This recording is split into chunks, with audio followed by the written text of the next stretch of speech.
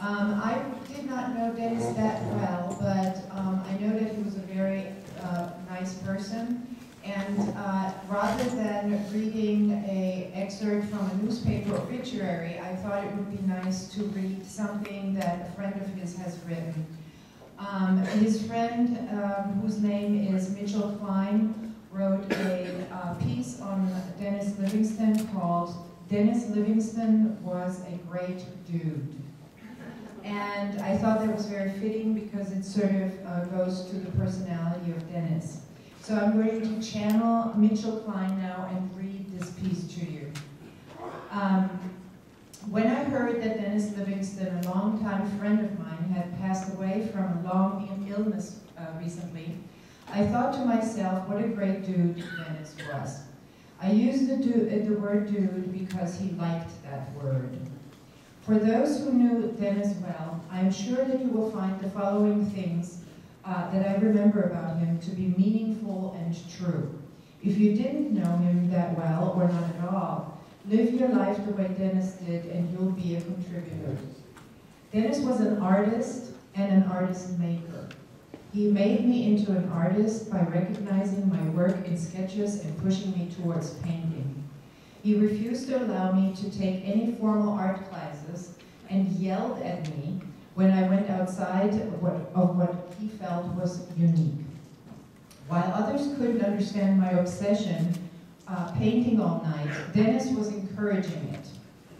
Because Dennis was a wonderful man, he attracted the most elegant lady, Carol Higgs. I'm sure some of you know Carol very well.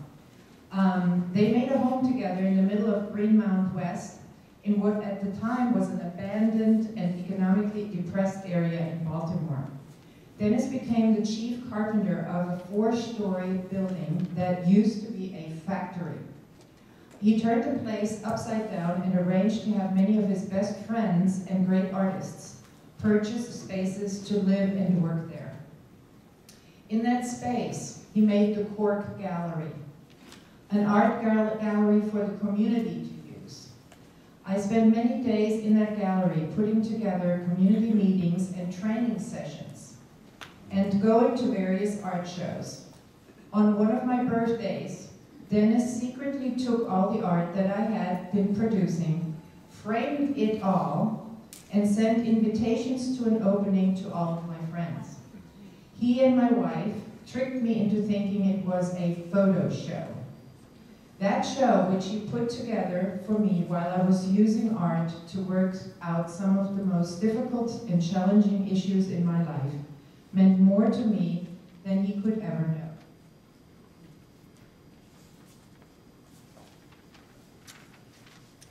Whether it was me or classes of young people who had little or no art outside of their, of their schools, Dennis found a way to make so many new artists shine. Dennis believed in organizing and political action and direct action, but he didn't have to be the star. He worked best as a facilitator and a problem solver in a group, and he won respect from many people. He believed in accountability for himself and his friends and he carried that through with his passion for what he termed healthy housing. Um, I could go on and on, but, I, uh, but if you feel sad, don't. Don't feel sad, because Dennis would not want you to be sad. He would want you to live your life to the fullest, to travel to Cuba, to try and levitate the Pentagon, as he once did with Abbie Hoffman, to paint, to protest, to organize, to start a business, to make impossible dreams come true. He would want you to stand up for your community and for yourself, to give to others, to create, to give some more, and to live life as a dreamer and a doer. There are so many people that Dennis impacted positively. It is hard to recount them all. But spread love, do what's right, create, and you will be all right. And that, my friends, is why Dennis Livingston was a great dude.